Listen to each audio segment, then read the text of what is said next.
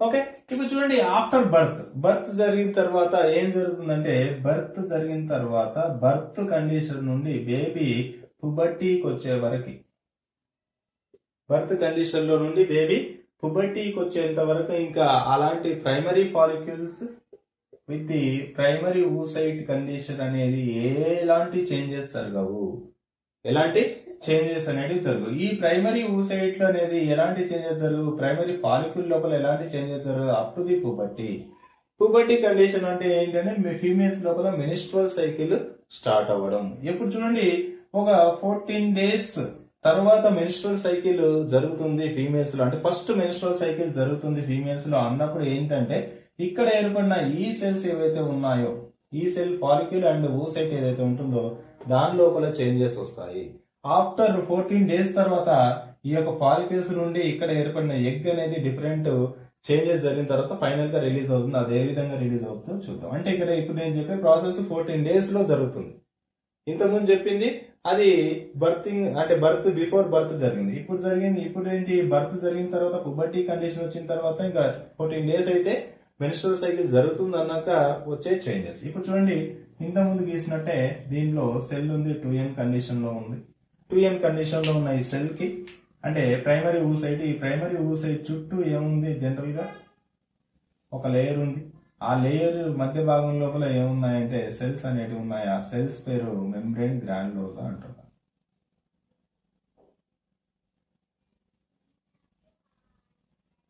membrane granulosa this is the theca layer. ఇదేంటి అంటే membrane granulosa ఇప్పుడు ఈ మెంబ్రెయిన్ గ్రాండ్లోజా ఏమవుతుందంటే డిఫరెంట్ కైండ్స్ ఆఫ్ లేయర్స్గా డివైడ్ అవుతుంది. ఒకసారి చూడండి ఆ డిఫరెంట్ లేయర్స్ ఏంటి అంటే టూ ఎన్ కండిషన్లో ఉన్న సెల్ ఈ టూ ఎన్ కండిషన్లో ఉన్న సెల్కి అవుట్ సైడ్ ఈ మెంబ్రేన్ గ్రాండ్లోజా నుండి ఏం ఏర్పడతాయంటే కొన్ని సెల్స్ అనేవి ఈ విధంగా ఒక లేయర్గా అరేంజ్ అవుతాయి. ఈ లేయర్ని ఏమంటున్నారంటే జోనా పెలుసుడా అంటారు జోనా పెలుసుడా ఈ జోనా పెలుసుడం పైన ఇంకొక లేయర్ ఏర్పడుతుంది చూడండి ఒకసారి. ఇవన్నీ ఏ ఏ సెల్స్ అంటే మెంబ్రెయిన్ గ్రాండ్లోజా సెల్స్ ఈ సెల్ లేయర్ని ఏమంటున్నారు అంటే ఒక లేయర్గా ఏర్పడుతుంది. దీన్ని కరోనా రేడియేటర్ అంటున్నారు. కరోనా రేడియేటర్ కరోనా రేడియేటర్ ఏర్పడిన తర్వాత మళ్ళీ కొన్ని మెంబ్రెయిన్ గ్రాండ్లోజా సెల్స్ అనేటివి దీని చుట్టూ ఉంటాయి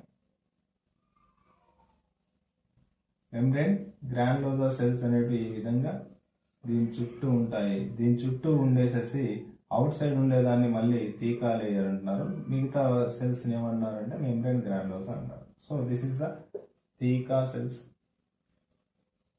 దాని కింది భాగంలో ఉన్న ఈ ఒకటే గీసినాడు మెనీ లేయర్స్ ఉంటాయి. టీకా సెల్స్ దీంతో పాటు ఉన్న దాన్ని ఏమంటారంటే మెంబ్రెయిన్ గ్రాన్యులోసా సెల్స్ అంటారు. ఈ విధంగా ఏం ఏర్పడిందంటే మెంబ్రెయిన్ గ్రాన్లోజా సెల్స్ అనేటివి తీకా సెల్స్గా ఏర్పడ్డాయి. ఇప్పుడు విషయం ఏంటంటే దీంట్లో చేంజెస్ జరుగుతాయి. అగైన్ స్టేజ్ వన్ అయిపోయిన తర్వాత స్టేజ్ టూ లోకి వస్తుంది. ఏం జరుగుతుందో చూడండి. దీనిలో యాజ్ ఇట్ ఈస్గా సెల్ అనేది ఈ విధంగా ఉంటుంది. టూ ఎన్ కండిషన్లో ఉంది. టూ ఎన్ కండిషన్లో మియాసిస్ వన్ లోపల ప్రోపేజ్ దగ్గర అరెస్ట్ అయింది. ఓకే ఈ విధంగా అయిపోయిన తర్వాత ఇక్కడ ఏం జరుగుతుందంటే ఇక్కడ ఏవైతే సెల్ లేయర్స్ ఉన్నాయో యాజ్ ఇట్ ఈస్గా ఆ సెల్ లేయర్స్ అలాగే ఉంటాయి. ఓకే? దాని మీద ఒక సెల్ లేయరు. మళ్ళీ అగైన్ దాని మీద ఒక సెల్ లేయరు. సెల్ లేయర్ ఈ సెల్ లేయర్స్ వచ్చేసిన తర్వాత ఏం జరుగుతుంది అంటే ఇక్కడ పై భాగంలో ఉన్న ఏవైతే గ్రాండ్లోజా సెల్స్ ఉన్నాయో ఆ గ్రాండ్లోజా సెల్స్ ఏమవుతాయంటే ఒక సైడ్ అరేంజ్ అవుతాయి. దీన్ని పాలిక్యూల్ కదా ఇది పాలిక్యూల్ ఫామ్ అవుతుంది. దీని చుట్టూ ఏమవుతుందంటే ఒక ఎంటీ స్పేస్ వస్తుంది. దాని మధ్య భాగంలో ఎలా స్పేస్ వస్తుందంటే చూడండి ఈ సెల్స్ ఏ విధంగా అరేంజ్ అవుతాయంటే ఈ గ్రాండ్లోజా సెల్స్ గురించి చెప్తున్నాను. సెల్స్ అనేటివి బేసిక్గా దీని చుట్టూ ఈ విధంగా అరేంజ్ అయ్యి ఇక్కడ మధ్య భాగంలో ఒక ఎంటీ స్పేస్ని ఫామ్ చేస్తాయి. ఫామ్ చేసేసేసి అగైన్ దీని చుట్టూ ఈ విధంగా అంటే ఏంటంటే ఇవన్నీ కూడా ఏంటి? Cells membrane granulosa cells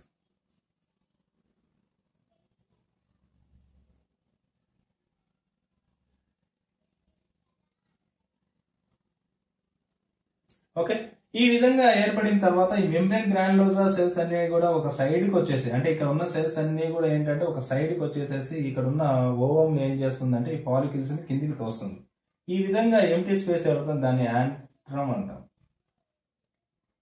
antrum అంటారు. ఈ యాంట్రమ్ ఏర్పడిన తర్వాత ఎగ్ యొక్క యాంట్రమ్కి దగ్గరగా ఉన్న ఈ సెల్ లేయర్ ఏంటంటే క్యుములస్ ఊపోరస్ అంటారు.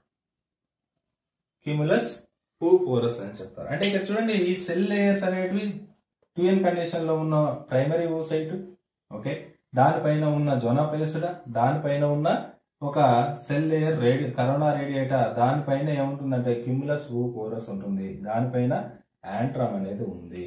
ఓకే ఇప్పుడు ఏం జరుగుతుందంటే ఈ యొక్క ఈ ఫాలిక్యుల్ యాక్చువల్లీ ఇదేంటి మొత్తం ఫాలిక్యుల్ ఇది మాత్రమే సెల్ మన యొక్క సెల్. ఈ ఫాలిక్యుల్లో ఇన్ని లేయర్స్ ఉన్నాయి. ఈ ఫాలిక్యుల్ ఏమవుతుందంటే ఎన్లార్జ్ అవుతుంది. ఓకే? ఈ పాలిక్యూల్ అనేది కంప్లీట్గా ఎన్లార్జ్ అవుతుంది. కంప్లీట్గా ఎన్లార్జ్ అయ్యే కొద్ది ఏంటంటే యాంట్రమ్ పెరుగుతుంది. తర్వాత ఈ యొక్క సెల్ సైజు ఈ యొక్క దీని యొక్క సైజు కూడా పెరుగుతుంది. ఓకే? ఈ విధంగా సైజు పెరుగుతున్న తర్వాత ఏం జరుగుతుంది అంటే మొత్తం ఈ యొక్క స్ట్రక్చర్ చుట్టూ మొత్తం ఈ యొక్క స్ట్రక్చర్ చుట్టూ ఈ స్ట్రక్చర్ ఎక్కడ ఉంది బేసిక్గా అంటే ఓవరీలో ఉంది. ఇక్కడ చూడండి ఇప్పుడు ఓవరీలో పెరుగుతున్న ఈ స్ట్రక్చర్ చుట్టూ ఏం జరుగుతుందంటే ఈ యొక్క ఓవరీ యొక్క సెల్స్ స్ట్రోమా సెల్స్ అంటారు ఓవరీ యొక్క స్ట్రోమా సెల్స్ ఏం చేస్తాయి అంటే ఒక లేయర్ని ఫామ్ చేస్తాయి. దీని చుట్టూ మళ్ళీ ఇంకొక లేయర్ ఫామ్ అవుతుంది. ఆ లేయర్ ఏంటంటే ovary stroma cells ovary stroma cells ovary stroma cells ఈ ఓవరీ స్ట్రోమా సెల్స్ ఏవైతే ఉన్నాయో ఆ ఓవరీ స్ట్రోమా సెల్స్ అనేటివి అవుట్ సైడ్ ఉన్న ఉన్నాయి. ఈ ఫాలికల్కి అవుట్ సైడ్ దాన్ని ఏమంటారంటే తీకా ఇంటర్నా అంటారు. తీకా ఇంటర్నా. ఈ తీకా ఇంటర్నా ఫ్యూచర్లో ఈస్ట్రోజన్ అనే హార్మోన్ని ప్రొడ్యూస్ చేస్తుంది. ఈ ఈస్ట్రోజన్ అనేది ఏంటి? ఎలా ప్రొడ్యూస్ అవుతుంది? ఎందుకు ప్రొడ్యూస్ అవుతుంది? అనే దాని గురించి మళ్ళీ హార్మోనల్ రెగ్యులేషన్ దాకా చెప్తా. తీకా ఇంటర్నా అనేది ఒక లేయర్ ఫామ్ అయింది. అగైన్ తీకా ఇంటర్నా పైన ఒక ఫైబ్రస్ లేయర్ ఇంకో లేయర్ ఫామ్ అవుతుంది. దీని చుట్టే. ఫైబ్రస్ లేయర్ ఫామ్ అవుతుంది. ఈ విధంగా తీకా ఇంటర్నా మీద ఫామ్ అయిన ఈ లేయర్ ఏమంటారంటే theca externa theca externa theca interna and theca externa theca externa form అయిపోయిన తర్వాత ఈ కండిషన్లో ఉన్న ఈ పాలిక్యుల్ ఈ పాలిక్యుల్ పాలిక్యుల్ అంటే ఎక్కడి నుంచి ఎక్కడికి వస్తుంది? మొత్తం ఇక్కడ సెల్ కాకుండా మన ఓవన్ కాకుండా మిగతాది మొత్తం follicles one two three four five five లేయర్స్తో కూడా పాలిక్యులే ఓకే ఇప్పుడు ఈ కండిషన్లో ఉన్న తీక ఎక్స్టర్నా తీక ఇంటర్నా తర్వాత ఈ లేయర్స్ అన్నిటినీ కలిపితే ఈ పాలిక్యుల్ని సెకండరీ పాలిక్యుల్ అంటారు. సెకండరీ పాలిక్యుల్ సెకండరీ పాలిక్యుల్ ఏర్పడిన తర్వాత ఇక్కడ టూ ఎన్ కండిషన్లో ఉన్న సెకండరీ పాలిక్యుల్ ఏర్పడిన తర్వాత టూ ఎన్ కండిషన్లో ఉన్న prophase prophase of meiosis one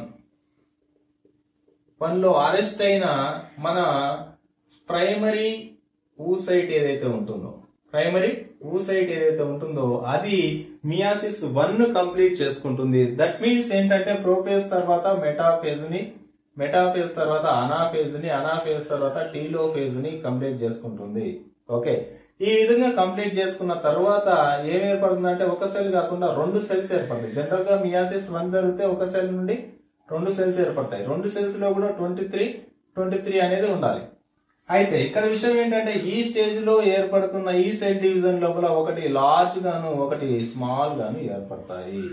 దీనిలో క్రోమోజోమ్స్ ట్వంటీ త్రీ ఉంటాయి దీనిలో ట్వంటీ త్రీ ఉంటాయి. కాకపోతే ఒకటి లార్జ్గా ఇంకోటి స్మాల్గా ఏర్పడుతుంది. ఈ లార్జ్గా అనేది ఎక్కడి నుంచి వస్తుంది? ప్రైమరీ ఊసైట్ నుంచి వస్తున్న సెల్ ఇది. ప్రైమరీ ఊసైట్ నుండి వచ్చిన ఈ సెల్ ఏదైతే ఉంటుందో ఈ సెల్ ఏం చేస్తుందంటే చూడండి ట్వంటీ త్రీ క్రోమోజోమ్స్ ఉంటాయి లార్జ్గా ఉంటుంది. తర్వాత దీన్ని వచ్చేసేసి ఓం అంటాం. ఓకే? దీన్ని వచ్చేసేసి పోలార్ బాడీ అంటాం. Polar body.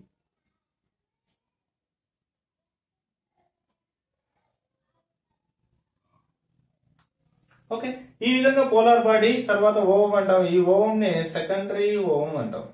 సెకండరీ ఓవం లేదంటే సెకండరీ సైట్ ఓం కన్నా ఊసైట్ అని పిలుస్తారు. క్లియరా? ఇప్పుడు ఏమైంది సెకండరీ పాలికుల్ ఉంది సెకండరీ పాలికల్ లోపల సెకండరీ ఊసైట్ ఉంది. ఇప్పుడు సెకండరీ ఊసైట్ లోపల ఉన్న ఈ యొక్క కండిషన్లో ఏమవుతుందంటే again this enter into the meiosis two meiosis two లోకి ఎంటర్ అవుతుంది. అగైన్ మియాసిస్ టూ ఎంటర్ అవుతే ఏమవ్వాలి? ప్రోపేస్ మెటాపేస్ అనాపేస్ టూ లో కంప్లీట్ చేసుకుంటే మియాసిస్ టూ కంప్లీట్ అవుతుంది. కానీ మియాసిస్ టూ లోపల మెటాఫేజ్ దగ్గరికే వచ్చి మెటాఫేజ్ టూ అని రాస్తారు. మియాసిస్ టూ లో మెటాఫేజ్ కాబట్టి మెటాఫేజ్ టూ అని రాస్తారు. మెటాఫేజ్లోకి వచ్చేసేసి మళ్ళీ సెకండరీ ఊసైట్ అనేది అరెస్ట్ అవుతుంది. అంటే ఇంకా ఆ తర్వాత ప్రాసెస్ అనేది జరగదు. మిగతా సంబంధించిన మెటాఫేజ్ తర్వాత అనాఫేజ్ టీలోఫేజ్ ఎప్పుడు కంప్లీట్ చేసుకుంటుంది అంటే ఎప్పుడైతే ఎగ్ అనేది ఫెర్టిలైజేషన్ జరుగుతుందో అప్పుడు కంప్లీట్ చేసుకుంటుంది. ఓకే? ఇప్పటివరకు నేను ఏం చెప్పినాను అంటే ఇప్పుడు ఇక్కడ మెటాఫేజ్ కంప్లీట్ చేసుకుంది. ప్రోఫేజ్ ఇక్కడ ఏంటి అంటే మియాసిస్ వన్ కంప్లీట్ చేసుకుని మియాసిస్ టూలో మెటాఫేజ్ దగ్గర అరెస్ట్ అయింది. ఇది దేనికి సంబంధించింది అంటే సెకండరీ ఊసైడ్స్ ఇంతవరకు చెప్పింది ఏంటి అంటే పాలిక్యూల్ అంటే పాలిక్యూల్ లోపల పెరుగుతున్నటువంటి మన ఊసైట్ ప్రైమరీ ఊసైట్ సెకండరీని కంప్లీట్ చేసుకొని సెకండరీ ఊసైట్గా కన్వర్ట్ అయింది. మియాసిస్ వన్ కంప్లీట్ చేసుకొని సెకండరీ ఊసైట్గా కన్వర్ట్ అయింది. సెకండరీ ఊసైట్ అగైన్ ఎంటర్ ఉంటుంది మియాసిస్ టూ అది మళ్ళీ మెటాఫేస్ టూ దగ్గర వచ్చేసి అరెస్ట్ అయింది.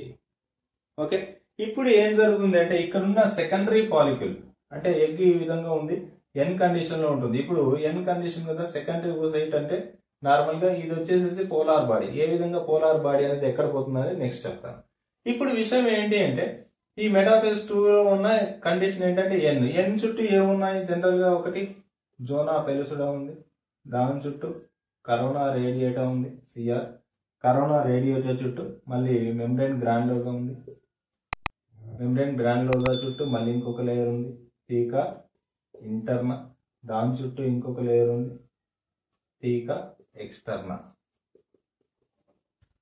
ఈ విధంగా ఈ కండిషన్ ఇదంతా ఎక్కడ ఎక్కడ గ్రో అవుతుంది అంటే ఓవరీలో గ్రో అవుతుంది. ఓకే ఇప్పుడు ఓవరీలో గ్రో అవుతున్న ఈ స్టేజ్లో ఉన్న ఏమవుతాయంటే ఓవరీ ఈ విధంగా ఉంటే ఓవరీకి ఇక్కడ గ్రో అవుతుంటే ఈ పాలిక్యూల్ ఏమవుతుందంటే ఎన్లార్జ్ అవుతుంది. సెకండరీ పాలిక్యుల్లో ఉంది. సెకండరీ పాలిక్యూల్ అనేది ఈ విధంగా ఉంది. సెకండరీ పాలిక్యూల్ అనేది ఇంకా ఎన్లార్జ్ అవుతుంది. టెర్సరీ పాలికల్ టెర్సరీ పాలిక్యూల్ అయిపోయిన తర్వాత ఇక్కడ వచ్చిన ఈ పాలిక్యూల్ ఏంటంటే గ్రాఫియన్ పాలిక్యూల్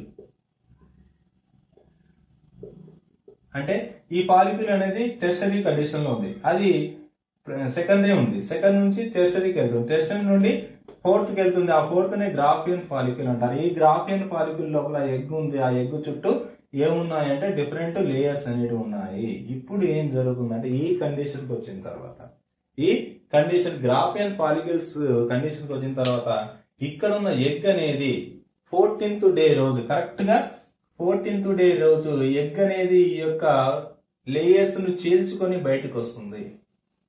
సెకండరీ మియాసిస్ లోపల మెటాఫేజ్ వన్ టూ లోపల అరెస్ట్ అయిన ఈ సెల్ ఏదైతే ఉంటుందో దాంతో పాటు ఒక లేయర్ త్రీ లేయర్స్ని తీసుకునేసేసి ఏం చేస్తుంది అంటే ఈ విధంగా బయటకు వస్తుంది. మిగిలిన layers theca interna theca externa theca interna membrane granulosa లోపల కొన్ని సెల్స్ అన్ని కూడా లోపలే ఉండిపోతాయి. ఓకే ఈ విధంగా బయటకు వచ్చిన ఈ ఎగ్ ఏదైతే ఉంటుందో ఈ ఎగ్ అనేది కరెక్ట్గా fourteenth day of menstrual cycle రోజు రిలీజ్ అవుతుంది. మెనిస్ట్రల్ సైకిల్ రోజు రిలీజ్ అయిన ఈ ఎగ్ అనేది ఏం చేస్తుందంటే ఫాలోపియన్ ట్యూబ్లోకి వెళ్ళేసేసి అక్కడ స్టే చేస్తుంది. ఫాలోపియన్ ట్యూబ్స్ అంటే మళ్ళీ చూడండి ఈ విధంగా గీస్తున్నాను కదా. ఈ విధంగా ఇట్లా గీస్తున్నాను ఈడ ఓవరీస్ ఉంటాయి. ఈ ఓవరీస్ నుండి ఎగ్ ఈ విధంగా రిలీజ్ అవుతుంది. ఎగ్ రిలీజ్ అయిన తర్వాత ఈ విధంగా ఒక ట్యూబ్ లైక్ స్ట్రక్చర్ ఉంటుంది. దాన్నే ఫాలోపియన్ ట్యూబ్ అంటారు. Fallopian tube. ఈ ట్యూబ్ లైక్ స్ట్రక్చర్ అనేది ఈ విధంగా జనరల్గా దాని యొక్క స్ట్రక్చర్ ఈ ఫాలోపియన్ ట్యూబ్లోకి ఇక్కడ నుంచి రిలీజ్ అయిన ఎగ్ వచ్చేసేసి ఇక్కడ స్టే చేస్తుంది. ఇప్పుడు స్పర్మ్ అనేది బేసిక్గా ఫీమేల్ యొక్క వెజైనా ద్వారా వచ్చేసి యుటరస్ వచ్చేసి యుటరస్ నుండి ఇక్కడికి వస్తుంది. ఇక్కడికి వచ్చిన స్పర్మ్ అనేది ఎప్పుడైతే ఫాలోపియన్ ట్యూబ్ రీచ్ అయిందో అక్కడే స్టే చేస్తున్న ఫర్టిలై ఎగ్ ఏదైతే ఉంటుందో ఆ ఎగ్ తోపల ఫర్టిలైజేషన్ జరుగుతుంది. ఎప్పుడైతే ఫర్టిలైజేషన్ జరుగుతుందో ఫర్టిలైజేషన్ జరిగిన తర్వాత ఎగ్ అనేది మియాసిస్ టూలో మియాసిస్ టూలో ఉన్న మెటాఫేజ్ దగ్గర అయిపోయింది కదా? అనాఫేజ్ టీలో ఫేజ్ కంప్లీట్ చేసుకునేసి మళ్ళీ టూ సెల్స్గా డివైడ్ అవుతుంది. అగైన్ ఇది మియాసిస్ టూ కన్వర్ట్ అయితే మళ్ళీ అగైన్ టూ సెల్స్గా కన్వర్ట్ అవుతుంది. దానిలో ఒకటి లార్జ్గా ఉంటుంది ఒకటి స్మాల్గా ఉంటుంది. స్మాల్ని పోలార్ బాడీ అంటారు. ఇక్కడ ఇక్కడ ఒక పోలార్ బాడీ ఏర్పడింది ఇక్కడ ఒక పోలార్ బాడీ ఏర్పడింది. ఓకే ఇప్పుడు ఈ సెల్ దీనిగా కన్వర్ట్ అయినప్పుడు దీంతో పాటు వచ్చిన ఈ చిన్న సెల్ అనేది పోలార్ బాడీ ఇది వచ్చేసేసి నార్మల్గా ఓవం లేదంటే గ్యామెట్ అంటారు. ఓకే. ఫీమేల్ గ్యామెట్ అంటారు. ఇప్పుడు ఈ విధంగా ఏర్పడిన ఏదైతే ఉంటుందో ఫెర్టిలైజ్డ్ ఎగ్ ఏదైతే ఉంటుందో ఓం ఏదైతే ఉంటుందో అది మళ్ళీ యుటరస్కి వస్తుంది యుటరస్ లోపల ఇంప్లాంటేషన్ జరుగుతుంది. అంటే ఇప్పుడు ఏం చెప్తున్నాను అంటే ఫ్రమ్ ద బిగినింగ్ ఎక్కడైతే ఊగోనియా ఏర్పడిందో ఊగోనియా ఏర్పడినప్పటి నుంచి అక్కడ నుంచి బేబీ బర్త్ అవుతుంది. బర్త్ తర్వాత ఫీమేల్ మెచ్యూర్ అయిన తర్వాత ఆ మెచ్యూర్లో ఫోర్టీన్త్ డే రోజు ఎగ్ రిలీజ్ అవుతుంది. ఆ ఎగ్ ఫాలోపియన్ ట్యూబ్ వచ్చింది.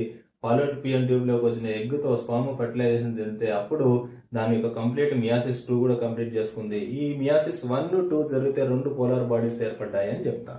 మరి ఈ పోలార్ బాడీస్ ఎక్కడ ఏర్పడ్డాయి? తర్వాత బయటికి రిలీజ్ అయిన ఎగ్ లోపల ఏ ఏ లేయర్స్ ఉన్నాయో ఒకసారి చూద్దాం.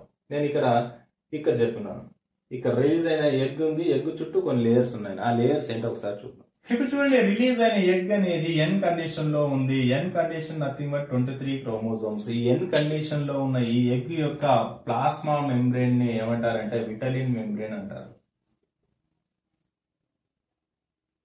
విటలిన్ మెంబ్రెయిన్ ఈ విటలిన్ మెంబ్రెయిన్కు కింది భాగంలో ఒక చిన్న ఎంటీ ఒక స్మాల్ స్పేస్ అనేది ఉంటుంది.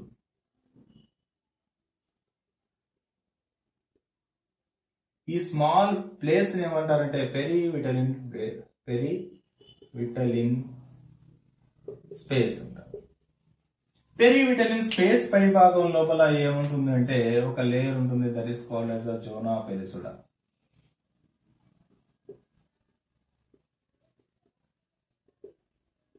Zona pellucida zona pellucida పైన భాగంలో కరోనా రేడియేటా ఉంటుంది. ఇదేంటి?